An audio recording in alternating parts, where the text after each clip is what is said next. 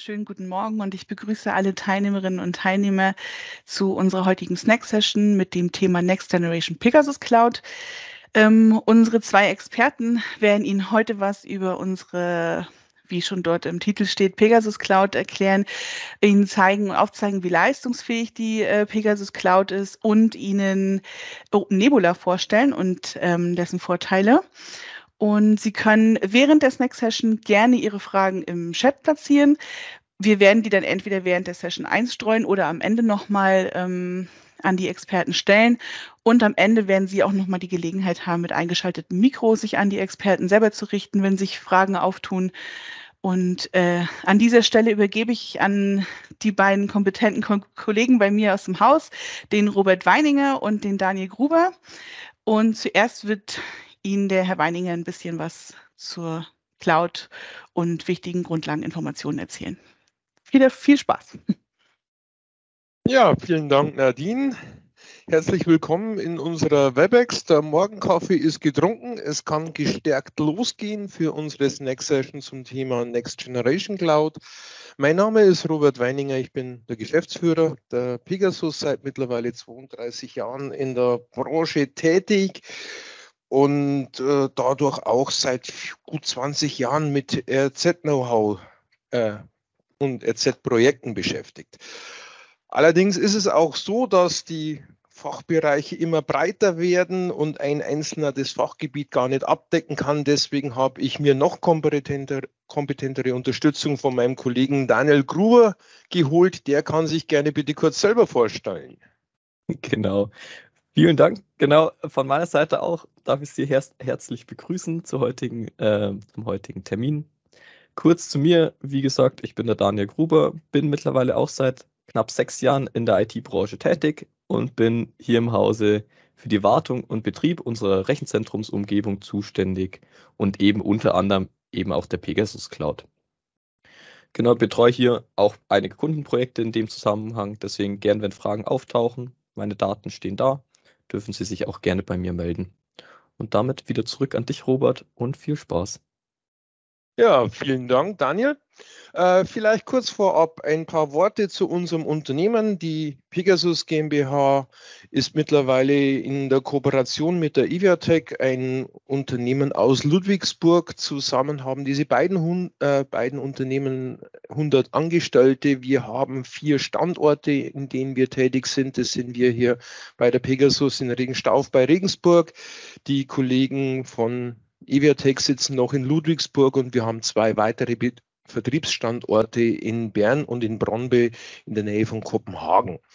Aktuell betreiben wir drei Rechenzentren, in denen auch die Pegasus Cloud von uns läuft, sind mittlerweile tatsächlich in erster Linie europaweit tätig, ein äh, paar weltweite Projekte auch sind ganz stark im Bereich VPN-Vernetzung unterwegs. Also wir haben derzeit so gute 1500 Standorte in in der Vernetzung und der Betreuung. Dahinter liegen gute 50.000 geschützte Anwender und das Ganze werden von Servern, gute 500 Stück mittlerweile in den Rechenzentren betrieben. Nun aber zum eigentlichen Themen, Thema der Next Generation Cloud. Wir haben hier kurz die Agenda zusammengeschrieben. Ich will die jetzt nicht einfach äh, so runterlesen. Ich denke, die haben Sie ja vorher schon gesehen und es war anscheinend so interessant für Sie, dass Sie sich hier bei dieser Session angemeldet haben, wofür ich mich recht herzlich bedanken möchte. Schauen wir einfach mal in das erste Thema rein. Was ist denn diese Next Generation Pegasus Cloud? Äh, Cloud-Bereich haben sich ja mittlerweile drei Bereiche oder drei Formulierungen etabliert. Es gibt eine sogenannte Public Cloud. Das sind so diese großen Player, die bei Microsoft, Google und Amazon betrieben werden. Daher das Stichwort Public. Es gibt gewisse Private Cloud-Umgebungen, wo sich die Unternehmen selber ihre eigenen Cloud-Strukturen aufbauen, die nie, oftmals nicht mehr in den eigenen Rechenzentren betrieben werden. Und das aktuell und tatsächlich am meistverbreiteste Konstrukt sind sogenannte Hybrid-Clouds, also eine Mischung aus Systemen, die beim Kunden lokal betrieben werden und die dann teilweise in der Cloud betrieben werden. Die Kunst dabei ist es, das nach außen hin für einen Mitarbeiter wie aus einem Guss wirken zu lassen, dass er keine großen Medienbrüche hat. Und genau das haben wir mit der Pegasus Cloud geschafft, hier eine Basis zu bieten. Vielleicht aber noch einen kleinen Ausflug vorher. Was ist denn auch gerne mal so die Wahrnehmung der Cloud? Ja, das ist eine kleine Grafik von Kooperationspartner vom ITQ-Institut für uns, wie eine Cloud oft wahrgenommen wird. Das hat viel mit Datenschutz zu tun, mit Hackern zu tun. Die Leute glauben, man muss sich um nichts mehr kümmern. Ist es sicher? Ist es billiger? Das sind lauter so Mythen, die sich um die Cloud ranken und die versuchen heute ein bisschen auszuräumen. Einer der wichtigsten Punkte ist aber so immer dieses Statement, ja, in der Cloud werde ich da nicht beklaut. Mittlerweile ist es tatsächlich eher umgekehrt. Sie haben sicherlich die letzten ein, zwei Jahre oft genug gehört, dass es über Verschlüsselungs-Hackerangriffe zu Einbrüchen bei Unternehmen gekommen ist. Da hat die Praxis tatsächlich gezeigt, dass die sogenannten On-Premise-Strukturen, die beim Kunden draußen stehen, tatsächlich statistisch nachvollziehbar viel angreifbarer sind, weil es vielen Kunden oft am Know-how und schlichtweg auch an der Zeit Fehlt, die Security auf einen akzeptablen hohen Stand zu halten, dass man solche Einbrüche verhindern kann. Und die ganzen Cloud-Anbieter, wie auch wir selbst, können da natürlich viel mehr Zeit und Energie reinstecken, um sich vor solchen externen Angriffen zu schützen. Aber nun zur eigentlichen Lösung, die wir Ihnen zeigen wollen, die äh, Hybrid-Cloud-Lösung von Open Nebula äh, wie es bei die EDVler üblich ist, schmeißen wir gerne mit irgendwelchen modernen englischsprachigen Wörtern um sich.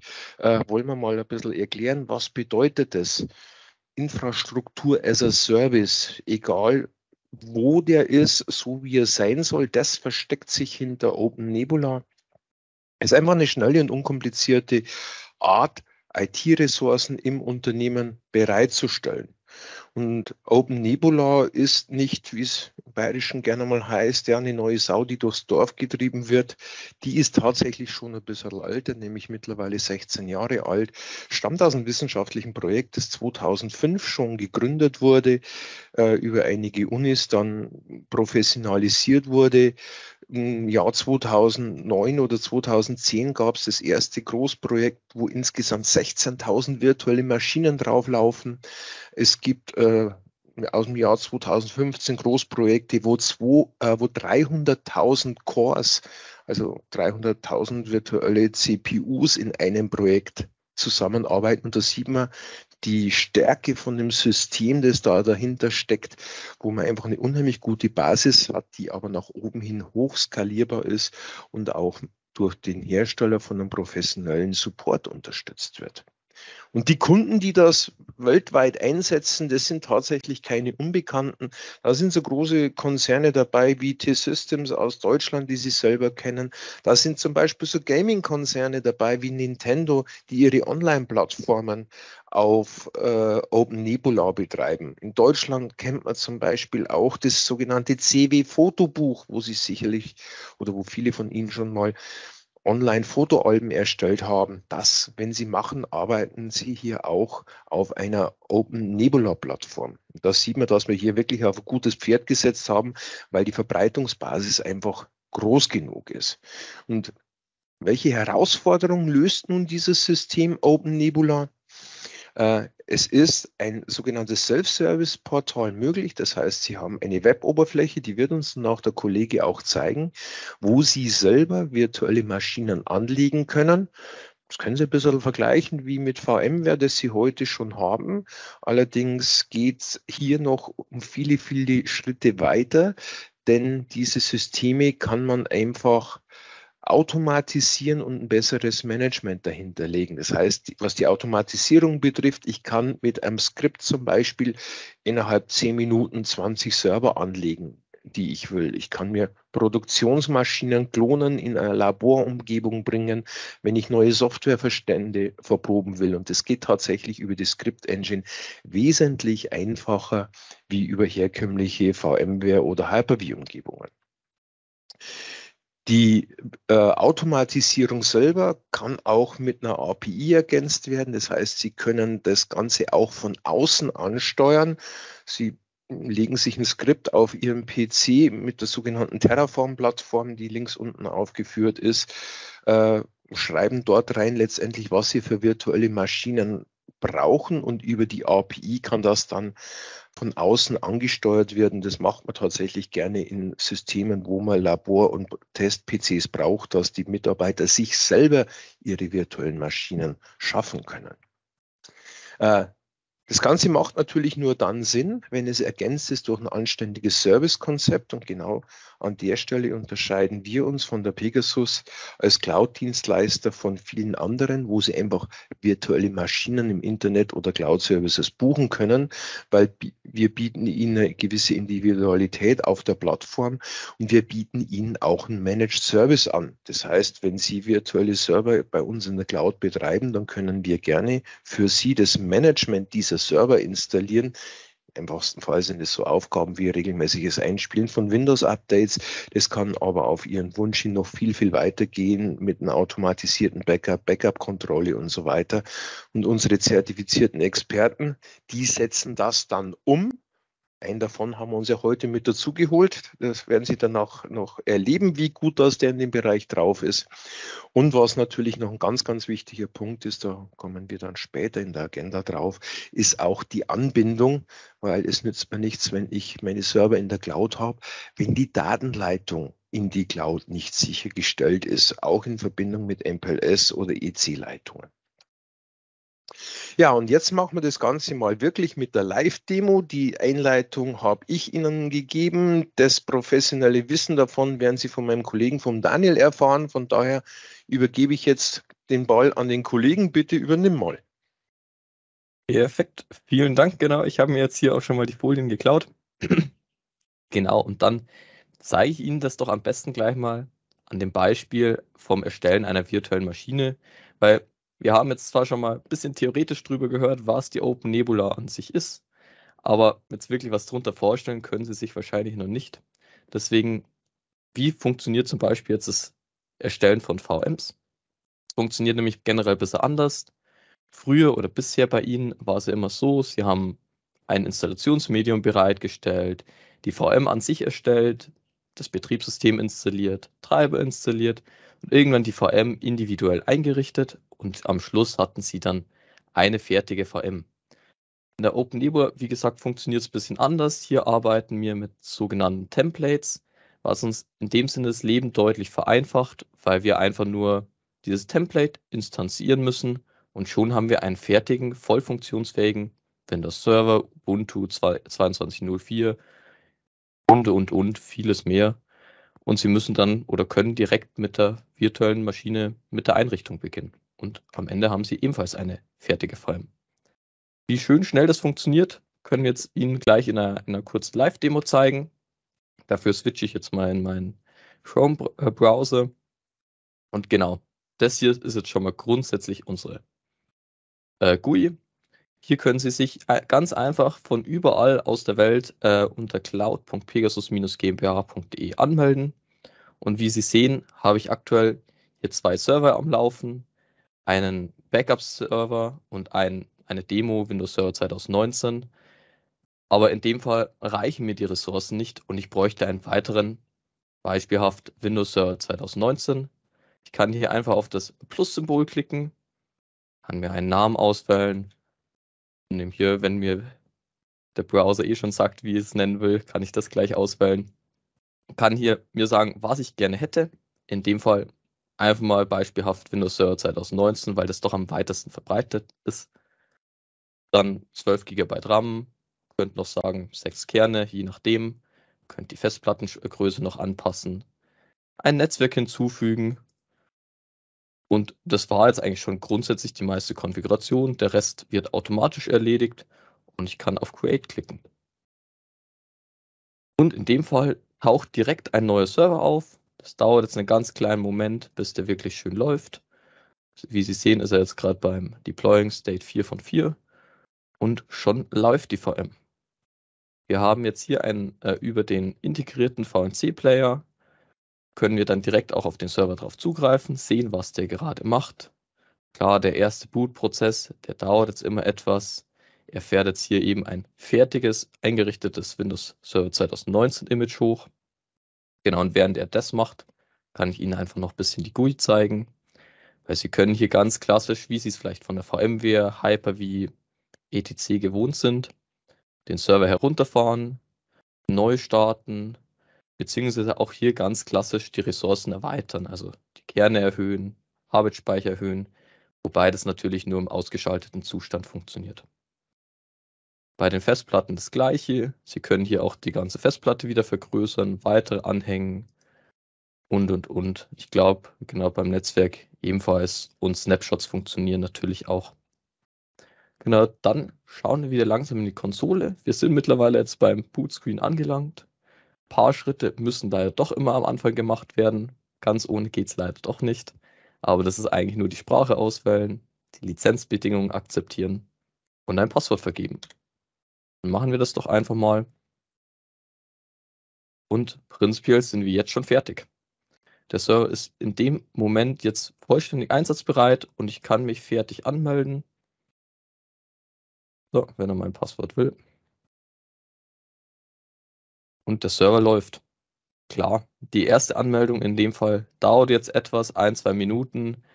Äh, wir können das jetzt in dem Fall gerne noch kurz abwarten, einfach, dass Sie das auch mal gesehen haben. Wir haben hier jetzt auch zum Beispiel den Vorteil, dass das Netzwerk im Hintergrund schon so weit fertig konfiguriert ist, dass der Server direkt eine IP-Adresse bekommt ähm, und direkt eigentlich mit dem Internet kommunizieren kann. Sowas wie Hostnamen, RDP aktivieren, würde sich theoretisch auch alles automatisieren lassen, wobei das jetzt in dem Beispiel nicht vorhanden wäre. Das Ganze funktioniert, wie gesagt, auch nicht nur mit Windows, sondern eben auch mit Ubuntu, wo es sogar noch schneller gehen wird. Äh, wir haben auch Barracuda Firewall Templates, äh, Windows 10 theoretisch einfach zum Probieren, wobei das jetzt natürlich nicht in der Cloud für Server wirklich praktisch wäre. Genau, und, und, und. Wir haben, wie gesagt, auch wenn irgendwas mal ausfallen sollte, ist natürlich unsere Cloud sehr redundant abgesichert. Da gibt es eigentlich selten Downtime oder eigentlich gar keine Downtimes. Und genau, jetzt können wir noch vielleicht einen kleinen Schluck trinken, bis der sich endlich mal äh, fertig angemeldet hat.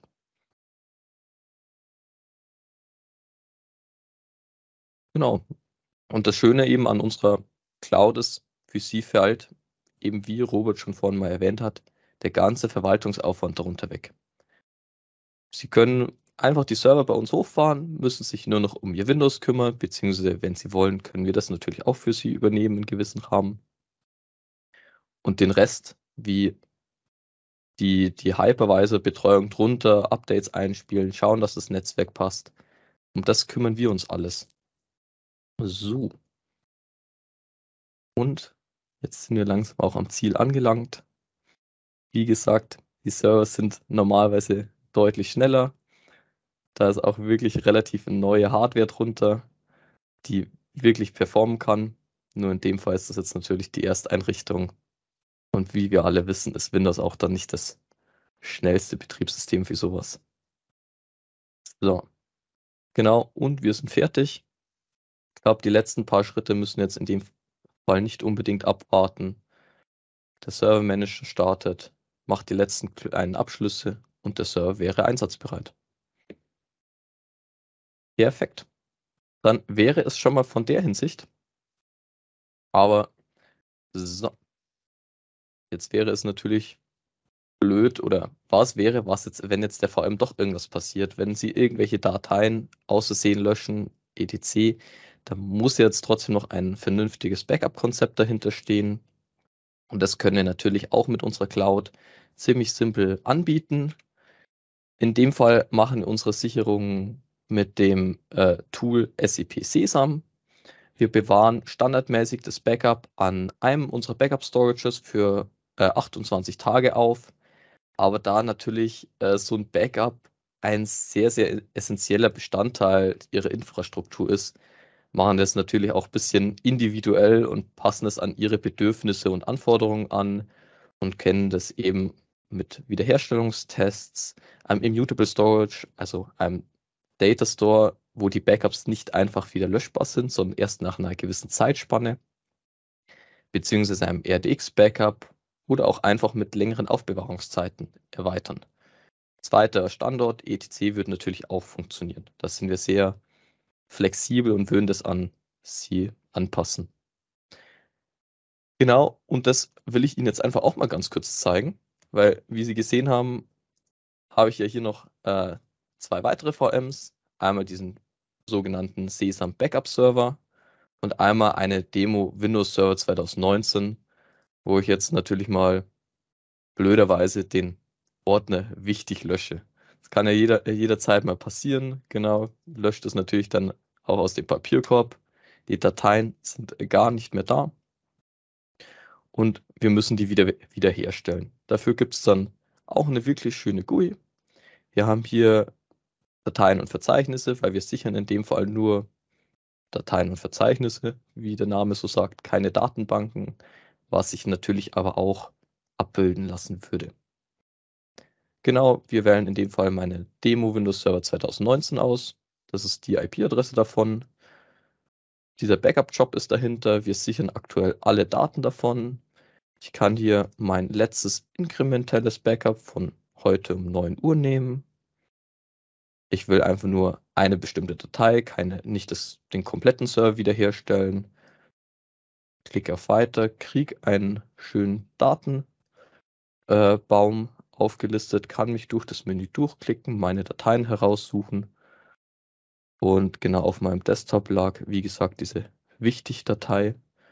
Die wähle ich einmal aus, klicke auf Weiter, sage, ich würde die gern jetzt einfach in einem anderen Ordner wiederherstellen. Unter C Users. So, und äh,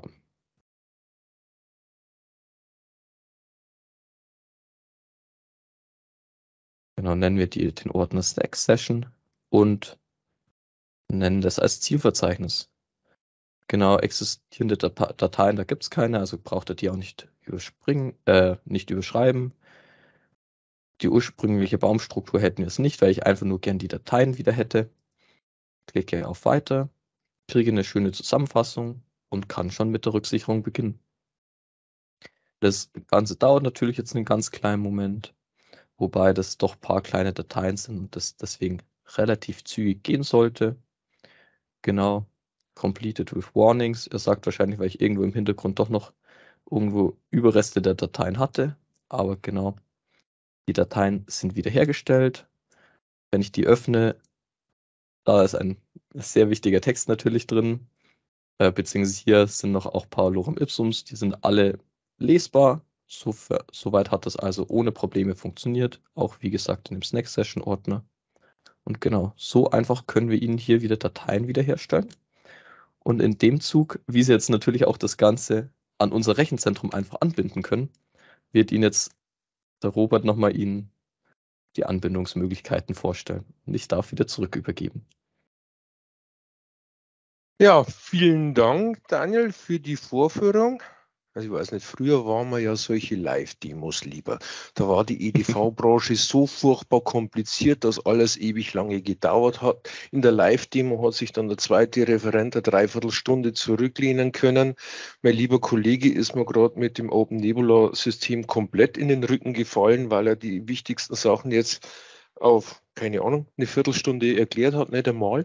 Aber auf der anderen Seite sieht man auch, wie anwenderfreundlich und bedienerfreundlich und einfach diese modernen Systeme tatsächlich äh, mittlerweile sind. Von daher kann ich es gut akzeptieren, dass meine Kaffeepause jetzt ein bisschen kürzer war. Äh, aber gehen wir mal zum nächsten Punkt in der Agenda. Ich hatte es ja gerade schon angedeutet wir haben jetzt einen Server, den uns der Daniel im Rechenzentrum eingerichtet hat, aber wir müssen ja mit dem Server auch sprechen können. Das ist eine Cloud-Anwendung.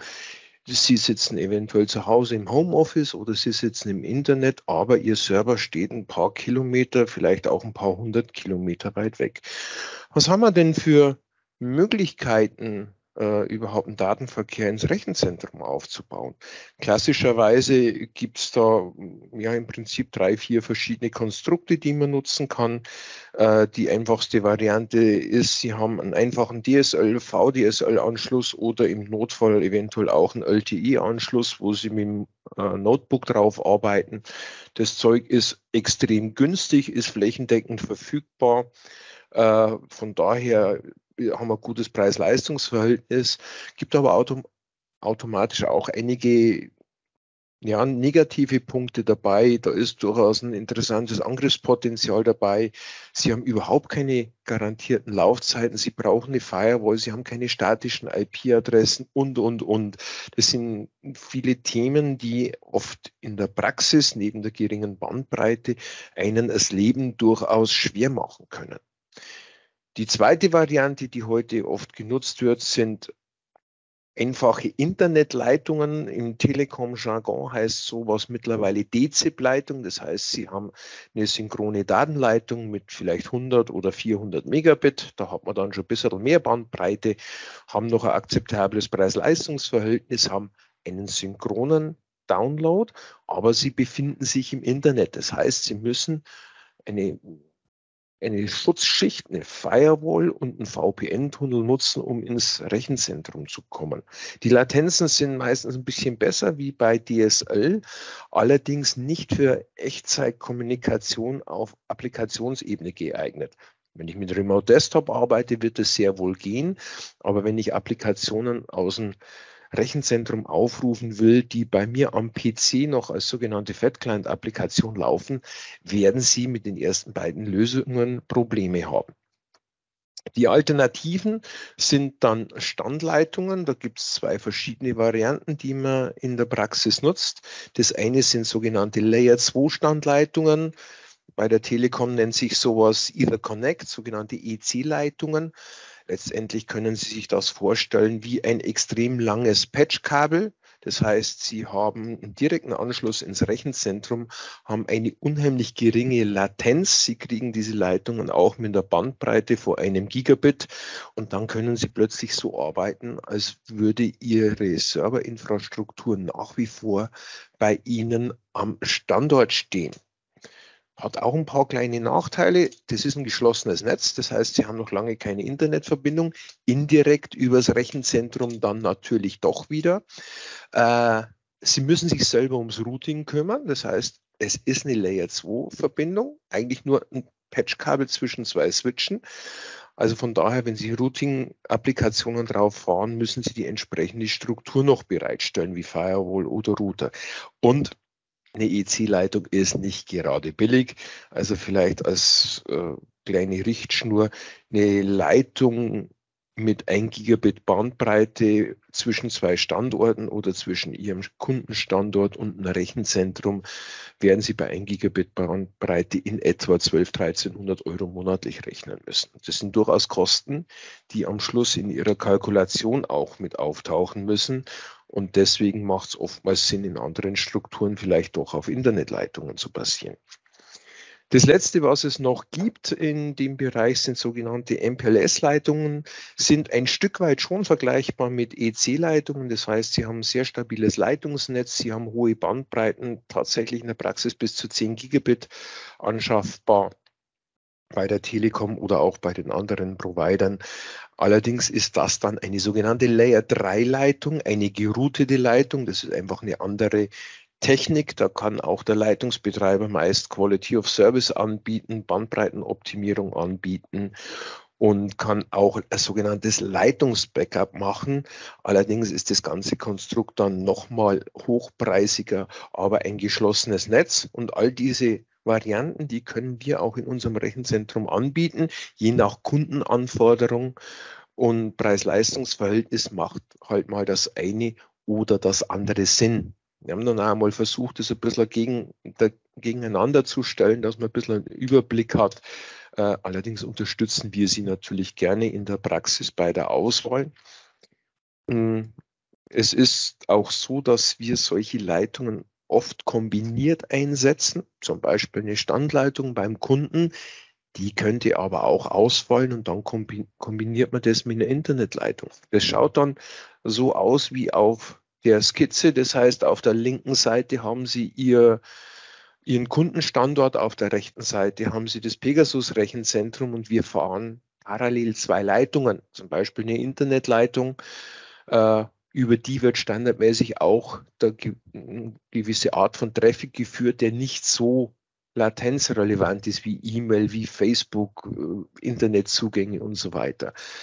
Parallel drunter läuft dann die EC-Leitung oder MPLS-Leitung und über die werden dann systemkritische Applikationen wie Oracle-Datenbanken, zum Beispiel Salesforce, SAP oder Remote Desktop gesteuert um hier einfach die bessere Latenz zu nutzen. Und die beiden Firewalls, die dann links und rechts stehen und diese beiden Leitungen handeln, die überwachen das. Und sollte eine der Leitungen ausfallen, zum Beispiel die obere DSL-Leitung, dann wird automatisch der Traffic der oben war, in die untere Leitung reingelegt und der Anwender kann weiterarbeiten. Es kann natürlich genauso passieren in die andere Leitung, in die andere Richtung, dass die IC-Leitung ausfällt. In diesem Fall würden wir den geschäftskritischen Traffic, also Salesforce, RDP, SAP, in die obere Leitung vollautomatisch reinlegen.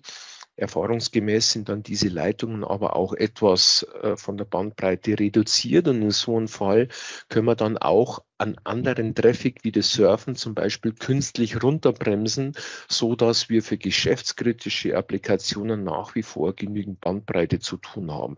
Auf diese Art und Weise die Kombination von mehreren Leitungen auf IT-Neudeutsch nennt sich dann sowas SD-WAN, Software Defined WAN können wir die Anbindung für Ihr Unternehmen immer garantieren und sicherstellen. Ja, von der technischen Seite kommen wir jetzt weg in andere ja, organisatorische Aspekte oder rechtliche Aspekte rein. Wir haben jetzt schon viel über die Vorteile von so einer Pegasus Cloud gehört. Da gehört eine sehr flexible Anwendung dazu, auch ein hoher Automatisierungsgrad, wie der Kollege gerade zeigen konnte. Wir haben Anbindungen an die ganzen großen Carrier wie eine Telekom und viele andere, wo wir die Bandbreiten reinnehmen können. Wir haben selber mittlerweile ein Peering und ein IP-Transit mit bis zu 100 Gigabit in der Sekunde. Also da können viele Kunden drüber laufen. Das Ganze wird von uns DSGVO-konform betrieben und ist entsprechend redundant aufgebaut. Also selbst wenn bei uns mal ein oder zwei oder mehrere Server ausfallen, wird es das System nicht beeinträchtigen, weil es dann einfach an, auf anderen Systemen weiterläuft. Und diese ganzen Dinge müssen aber auch mal in Betrieb genommen werden. Und da unterstützen wir Sie gerne bei der Ablaufplanung in der Inbetriebnahmephase. Weil irgendwann werden sie sich entscheiden und die, diese Entscheidungsfristen rücken immer näher, weil On-Premise-Strukturen mittlerweile doch sehr teuer und auch gelegentlich aufwendig zu betreiben sind. Viele organisatorische Gründe sprechen dafür, dass, dass man in die Cloud geht. Äh, wenn Sie es wünschen, dann kümmern wir uns um die ganze Migrationsphase. Das heißt, wir kommen erstmal vorbei und sprechen mit Ihnen den Bedarf ab. An der Stelle hören wir aber mehr zu, als wir selber sprechen, weil es dabei wichtig ist, einfach den Kunden zuzuhören, den Kunden zu verstehen, wie er arbeitet, damit man für den Kunden die ideale Lösung entwickeln kann. Und in dieser Analysephase, die nach diesem Vorgespräch stattfindet, werden wir ein technisches Konzept er Stellen für Sie, das am Schluss auch letztendlich kalkuliert wird und Ihnen dann ein entsprechendes Angebot zur Verfügung geht, geht, das wirklich für Sie individuell erstellt wird. Und in einer weiteren Präsentation wird es dann bei Ihnen vor Ort besprochen und auch die ganze Migrationsphase erläutert, was denn da alles so zu tun ist, weil es ist nicht nur so einfach wie das, was uns der Kollege gezeigt hat. Das Hochfahren der Maschinen ist tatsächlich sehr einfach, aber leider ist es halt nur die halbe Miete, weil in diesem Bereich müssen wir sich noch um viele andere Dinge Gedanken machen.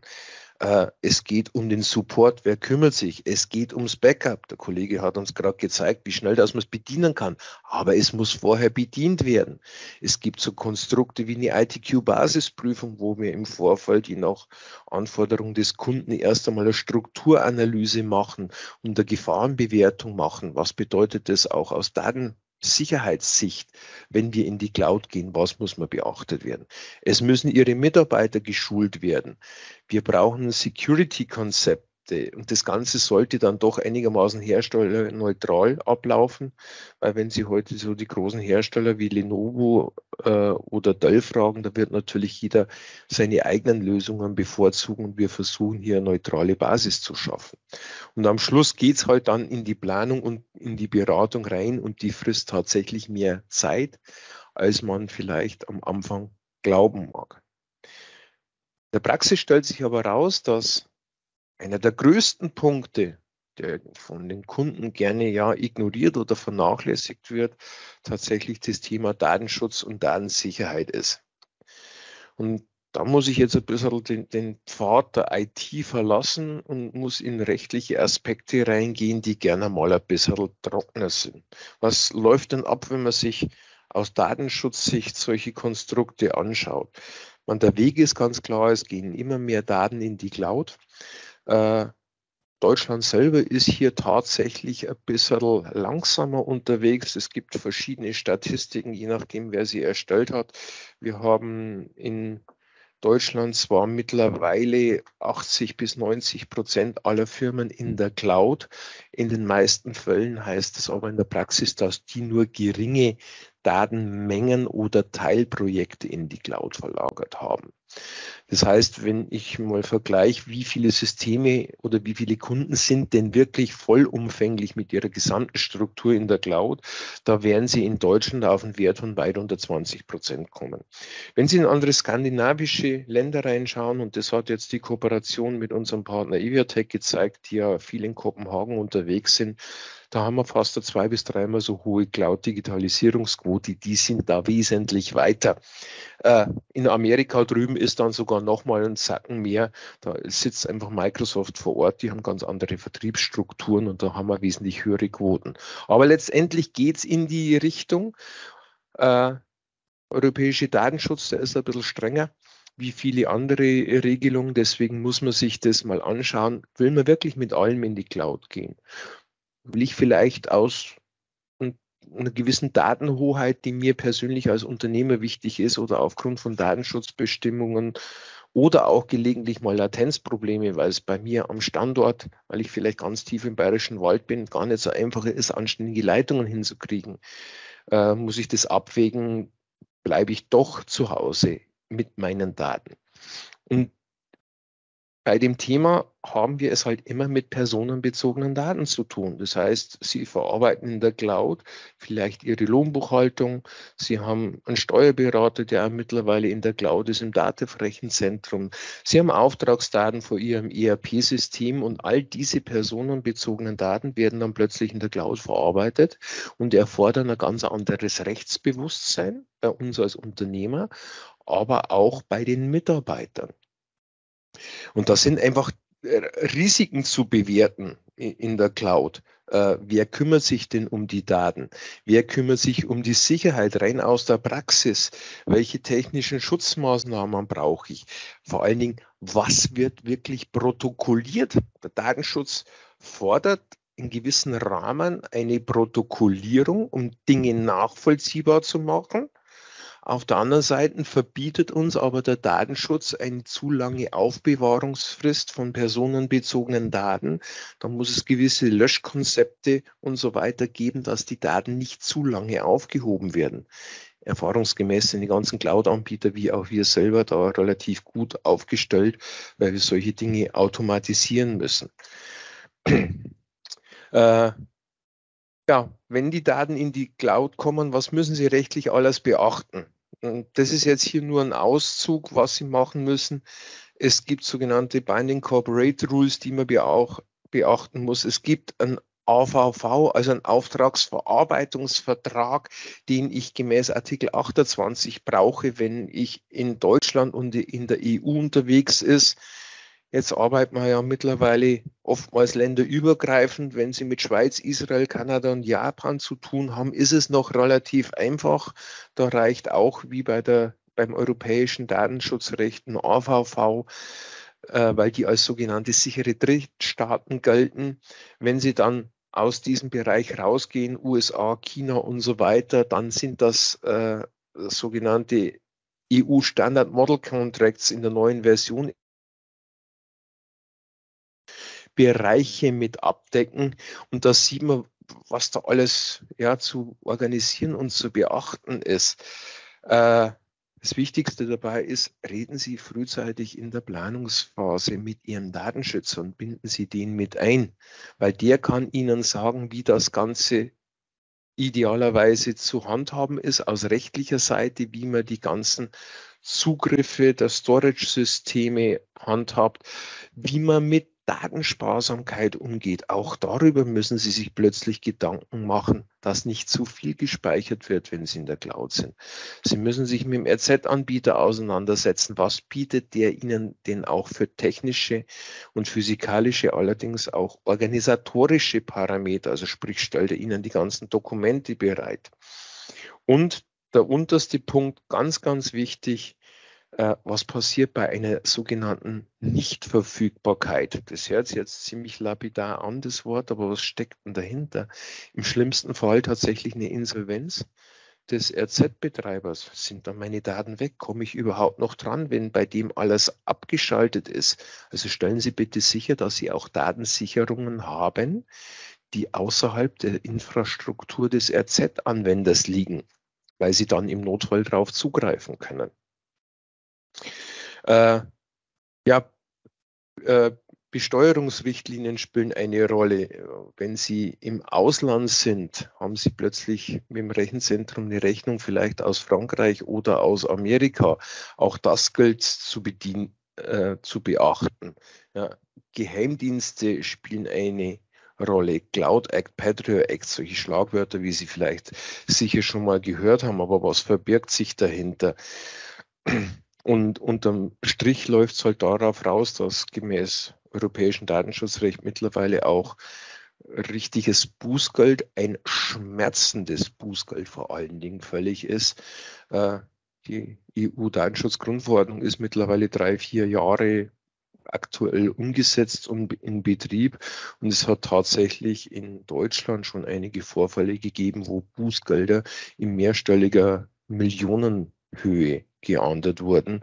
Und dem müssen Sie sich auch auseinandersetzen, wenn Sie in der Cloud sind. Wir haben hier die Firma MKM, mit der wir sehr eng zusammenarbeiten. Das sind unsere eigenen Datenschützer.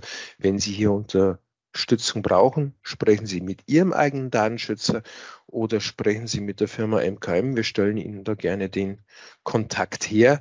Weiter will ich auf das Thema nicht eingehen, weil die fachliche Kompetenz in dem Raum, die haben tatsächlich die Datenschutzbeauftragten und die Fachanwälte, nehmen Sie auf jeden Fall einen mit dazu. Und das wäre es dann eigentlich schon gewesen von meiner Seite. Äh, ich bedanke mich für Ihre Aufmerksamkeit. Wir haben die meisten Themen gut darstellen können, sind aufgrund der Kürze der Zeit von der Live-Demo tatsächlich weit, weit vor dem Zeitplan. Sie haben jetzt noch die Möglichkeit, uns Fragen zu stellen, würde mich freuen. Äh, ich habe jetzt gerade selber, wie die Live-Demo war, schon ein paar Notizen gemacht. Zwei Punkte sind mir noch aufgefallen, die noch zu erwähnen sind. Das eine ist, äh, beschäftigen Sie sich mit dem Thema Firewall in der Cloud. Also es reicht nicht nur, das zu tun, was wir beim Kollegen gesehen haben, einfach einen, einen Server hochzufahren, sondern jeder Server oder die Cloud-Infrastruktur muss hinter eine virtuelle Firewall. Das entsprechende Template können wir über Open Nebula gerne bereitstellen, so dass Sie die Firewall dann nur noch hochfahren und konfigurieren müssen oder wir das als Dienstleister für Sie tun. Aber das ist ein wichtiger Punkt. Letztendlich ist die Cloud auch nur ein zusätzlicher Standort für Ihr Unternehmen und da müssen wir die gleiche Sicherheit herstellen. Der zweite Punkt ist, äh, in Deutschland gibt es doch immer noch Ressentiments gegen die Cloud aus verschiedenen Gründen. Da spielt der Datenschutz eine Rolle, da spielt die gefühlte Datenhoheit eine Rolle. Man neigt doch dazu, das, was man bei sich im Haus hat und irgendwie anklangern kann, weil da ein Blech ist, ein bisschen bewusster wahrzunehmen. Aber oft sprechen auch rechtliche Gründe durchaus in Ausnahmefällen dazu, die Daten im eigenen Haus zu halten. Sie können das Ganze auch mit Open Nebula machen und on-premise installieren. Die meisten Kunden von uns, die arbeiten nach wie vor mit VMware und mit Hyper-V als etablierte Virtualisierungssysteme, äh, die sehr gut und technisch wirklich exzellent sind, allerdings von der preislichen Seite her nicht unbedingt immer ideal sind. Und wir hätten auch die Möglichkeit, was wir tatsächlich bei Kunden schon gemacht haben, auch Open Nebula als reine Virtualisierungsplattform bei Ihnen im Haus im eigenen Rechenzentrum zu betreiben, so dass Sie die komplette Hoheit bei sich im Haus haben, aber trotzdem die Vorteile dieser modernen Virtualisierungstechnik nutzen können. Die zwei Punkte hatte ich mir noch aufgeschrieben. Jetzt würde ich mich noch freuen, wenn es noch andere Fragen gibt.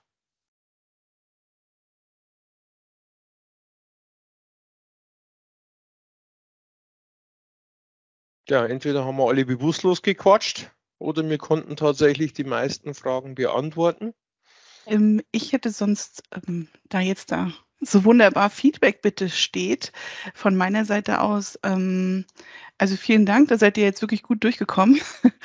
ähm, ich habe in den Chat einen Umfragebogen gestellt, einen, einen Link zu einem Umfragebogen. Ähm, vielleicht magst du eine Folie weitermachen, Robert.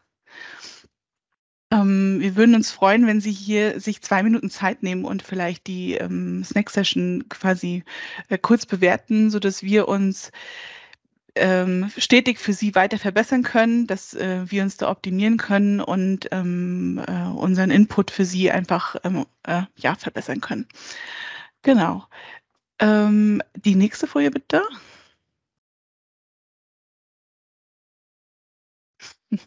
Ansonsten halten Sie sich gerne bei uns auf der Webseite auf dem Laufenden über die folgenden Events. Ähm, es ist so, dass wir ähm, dort alles online stellen. Wir kommunizieren aber auch ähm, über unsere Social Media Kanäle alle Events. Als nächstes steht eine Snack Session am 9. Dezember an, wo wir die äh, Schulungsplattform Pegasus IQ nochmal vorstellen. Und auch von Microsoft ähm, zu den Security-Angeboten gibt es nochmal Sessions jetzt Ende November und ähm, am Anfang, Anfang Dezember. Genau. Und dann die nächste Folie gerne. Und Sie können uns auf allen gängigen Social-Media-Kanälen folgen, ähm, sich dort auf dem Laufenden halten. Abonnieren Sie unseren YouTube-Kanal, wo wir auch immer wertvollen Content liefern, wo wir auch unsere Snack-Sessions veröffentlichen. Ähm, halten Sie sich über unseren äh, Podcast-Kanal auf dem Laufenden. Ähm, erfahren Sie einfach alles, was es bei der Pegasus neu gibt, alles, was es in der IT-Welt so Neues gibt, was wissenswert ist. Und ähm, genau, das wäre es von meiner Seite. Vielleicht hat ja jetzt noch jemand Fragen.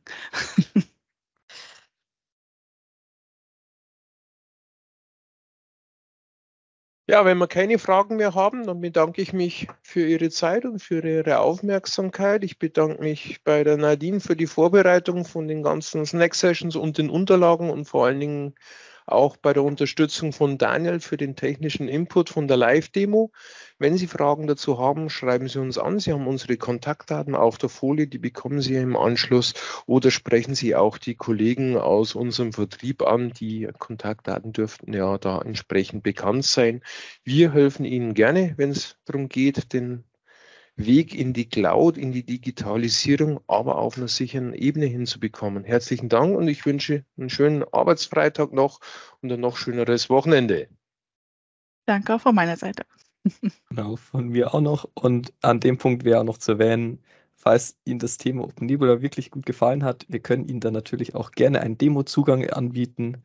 Dann können Sie das Ganze sich selber mal überzeugen und genau, vielleicht dann Ihre Server in Zukunft auslagern. Perfekt. Dann in dem Sinne von mir auch noch schönen Tag. Tschüss.